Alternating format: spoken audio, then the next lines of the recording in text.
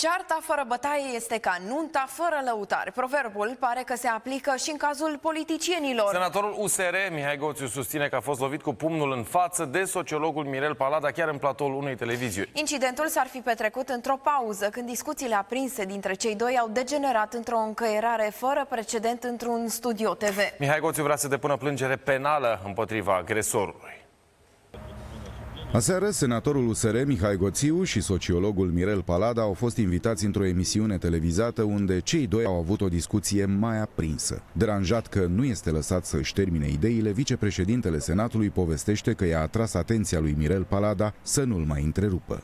După ce domnul Mirel Palada a intervenit de mai multe ori peste ceea ce spuneam, fără să, ne lăsându-mă să termin ce am de spus, I-am spus că da, de asta am intrat în politică pentru că m-am săturat de astfel de comportamente uh, nesimțite. Replica senatorului USR pare să-l fi provocat pe Mirel Palada, astfel că tensiunea dintre cei doi a continuat și în pauza de publicitate, când Mihai Goțiu susține că a fost agresat fizic de sociolog pauză uh, mi-a zis să nu care cumva să mai îndrăznesc, să îi spun uh, nesimțit.